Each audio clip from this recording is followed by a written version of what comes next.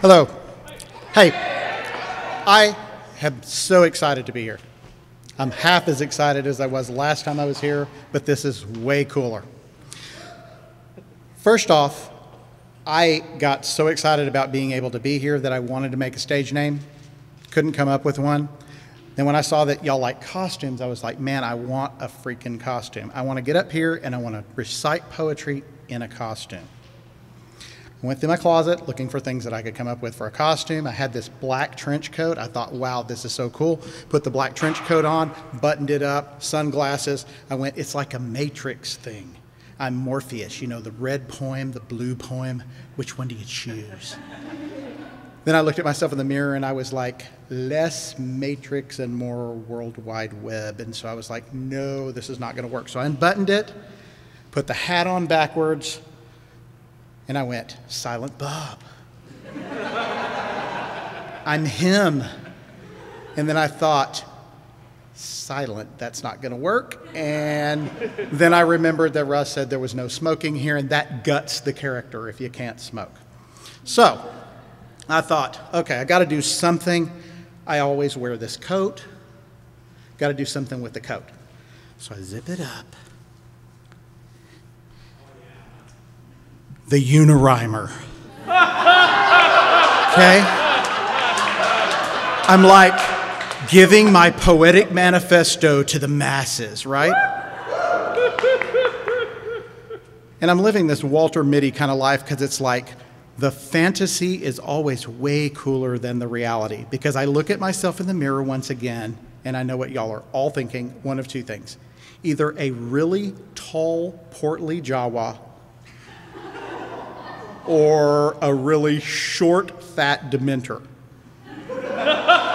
so, I'm going to go ahead and just be me. Okay. So, that aside, that aside, um, I got a request last week to do a poem about someone yelled roast beef first, and then they said the unisex bathroom.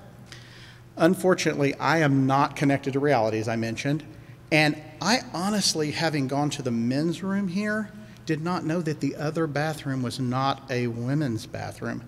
I thought unisex bathroom was like a joke or something people wanted and didn't have. Unfortunately, you have one. So this is going to be a poem based not on reality. Okay?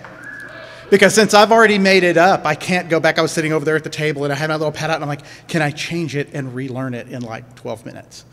And it's not going to work. So here we go. This is the poem that I like to call the unisex, unisex bathroom. I think that we will never see a loo that serves both he and she. Because girls are used to having stalls and guys have urinals on the walls. Even though it crossed my mind that chicks on urinals, I'm behind that idea must fade away as practical must rule the day. We'd have guys peeing in their cup waiting on girls to freshen up. and gals would beat a swift retreat since guys can hardly miss the seat. It's really something we can't do to have a bathroom made for two.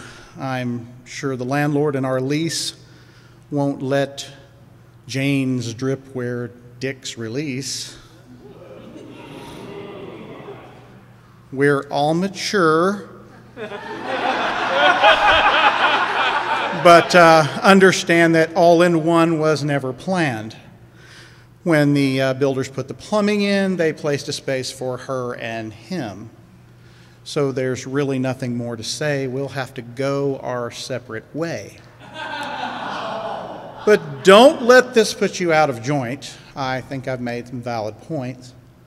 So, guys, when you go take a piss, as always, it's without the miss. And, gals, when you should seek relief, it sadly should be sans roast beef. what a way to shoehorn roast beef into that poem. Thank you. Thank you.